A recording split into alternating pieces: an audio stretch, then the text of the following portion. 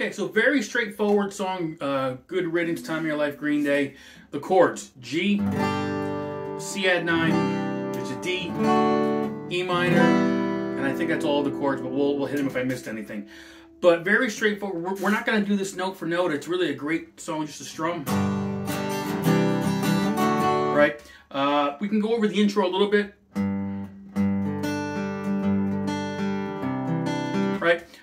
I'm kind of hitting bass notes and I'm coming up on that B string. All right, but let's get into it kind of, you know, again. And I did this song about three, four years ago on my channel, and I think five people saw it. So I'm going to do it again. Hopefully, we'll get up to nine. Let's see what happens here, okay? So, but the song starts off on that, you know, before that. Um, whether that was intentional or not, I don't know. But we're coming in on a G.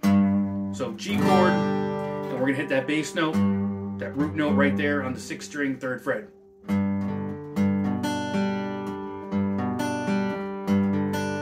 What I do is I kind of hit first two strings, I come up on the B to the G.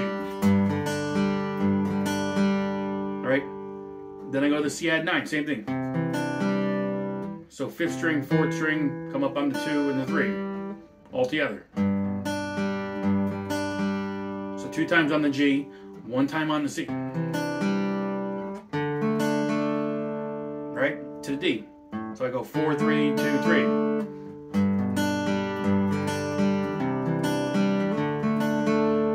If, if the picking piece of it isn't for you, just strum it.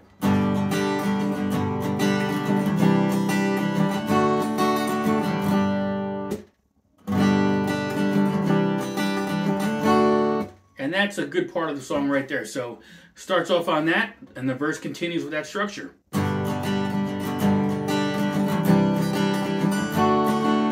Play it once. We're going to repeat.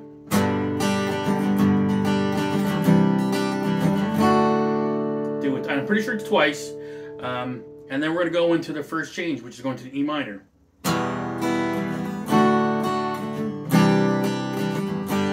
So what we're doing is we're going to the E minor, open, 2, 2, open, open, open, all the way down. And then we're just going to go to those, same three chords, but we're reversing the order.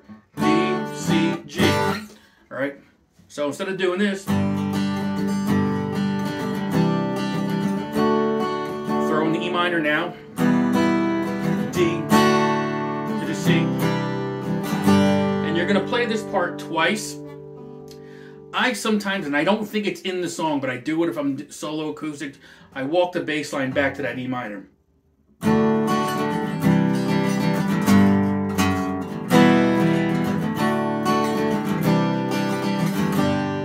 Okay? And then the next part. And then so, so I go to the E minor, to the G, you're gonna play that twice. In the end, I hope you had the. So hang on. the end is right. E minor again for the third time to the D. Back to the original kind of rhythm picking pattern.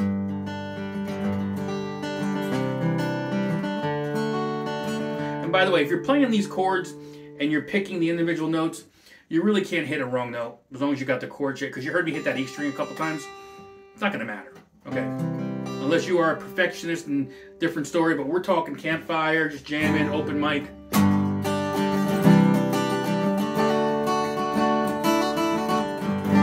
Kind of mixing it up. All right. For the most part, that's your song. So we kind of went through the intro. You went through, you know.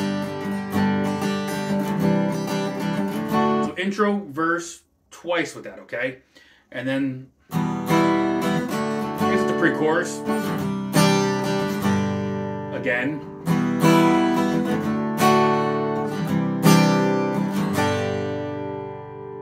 And I guess this is considered the chorus, I guess. And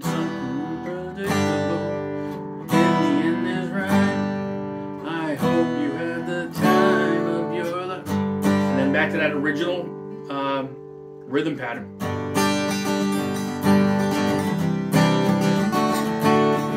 And everything repeats at that point. And, and if you know the song and you're listening to the song, those parts that we went over, you know it already. So, um, and it's really, I guess the song consists of four four parts. You've got that intro rhythm.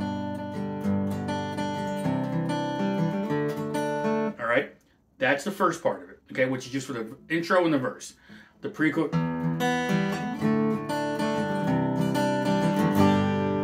Pre-chorus. All right, that's the third part, and then the next part being something.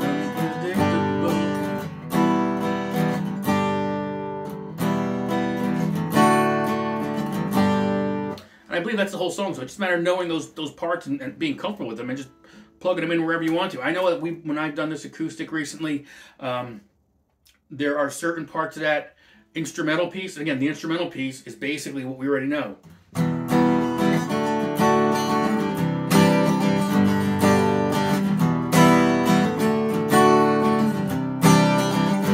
And you can shorten that, make it longer, whatever works for you, depending on how you're, you're, you're gigging it.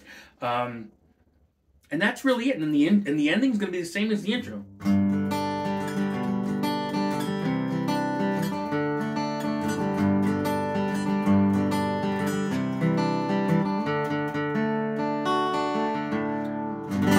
So at the end, that D has a bit of a tag on.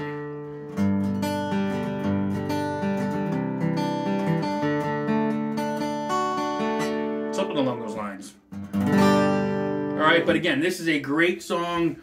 And again, I've, I've been talking about this a lot lately. Four chords, four chords you should be working on that are really open up uh, your playing in terms of just jamming music. Uh, G, C add nine, or a C, either one of them, the D and the E minor. Because there are again, there are hundreds of songs. If you could play those chords right now, I mean, there are tons of songs you can you, you can play. Brown Eyed Girl.